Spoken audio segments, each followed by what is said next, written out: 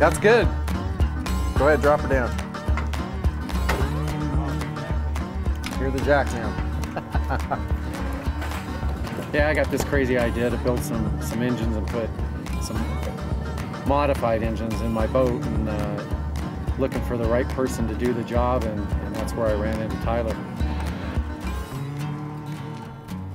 I thought he said Joe Garone, and I thought he was screwing around. I almost hung up on him. I was having a, a rough day that day, and uh, then I took the time to listen to him, and he told me what he wanted to do, take a couple uh, car racing engines and put them in his boat. And uh, I still thought he was crazy at first, and then uh, I told him, well, let's, uh, let's try it. We've never done that yet.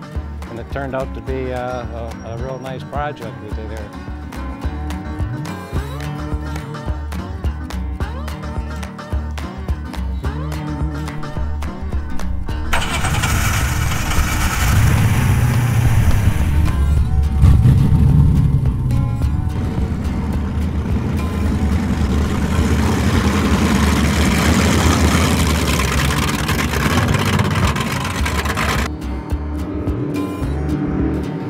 You know, it's uh, not enough to race in NASCAR and, be surrounded by horsepower. Um, when I do get these rare occasions to have time off, I like to come out and be surrounded by horsepower even when I relax. It, it just doesn't get much better than this.